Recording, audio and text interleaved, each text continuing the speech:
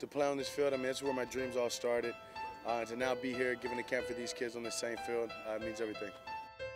There's a lot of moments. I mean, there was a lot of games won on this field. There's a lot of games that were won last seconds. Uh, but what's special about this, I mean, this is this being out here thinking about high school football. This is the same team that I grew up playing with since I was in third grade.